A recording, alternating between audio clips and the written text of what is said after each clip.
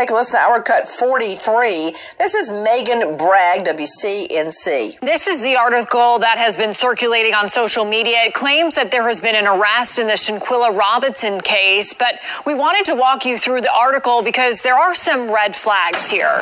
When someone reports and shares claims that are not verified, this is how misinformation spreads. First, the headline suggests DeHaan Jackson was arrested in the United States. As of now, Mexican authorities have not publicly even named a suspect.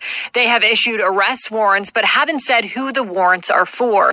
Okay, straight back to Joe Bruno joining us from WSOC. I heard the rumors, my, my cell phone blew up that there had been an arrest in Shanquella Robinson's homicide. Then quickly I learned that wasn't true. What do we know about any arrests or arrest warrants which would come out of Mexico. Right. Uh, and I've talked to the FBI, U.S. Marshals, as well as the State Attorney General's office in Mexico. All tell me they do not have any information about an arrest being made.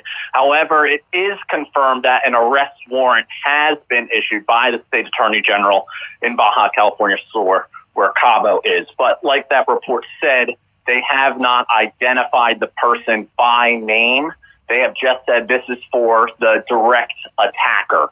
Uh, in this instance. Yeah, I'm looking at that. A, a uh, prosecutor for Baja California Sur states that a friend of Robinson's, quote, who is the direct aggressor, which I take to mean the woman beating her in the head in the video, is being sought by international authorities on charges of femicide. Charges of femicide. Now, femicide, to my understanding, in Mexico is the way they describe the murder of a, per, a female. What is that, Joe Bruno? Certainly. A femicide is basically when a, a, female is murdered. They look at whether she was killed for reasons due to her gender or perhaps it was due to domestic violence. Exactly. Oftentimes, when a woman is killed in Mexico, the case starts as femicide, and once they investigate, if they determine those aren't the factors,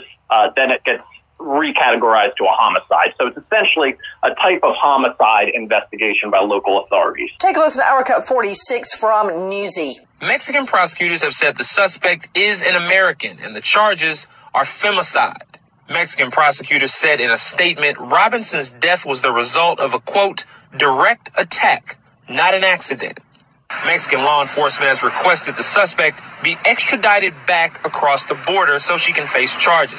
That would require U.S. authorities to hand over an American citizen to a foreign government.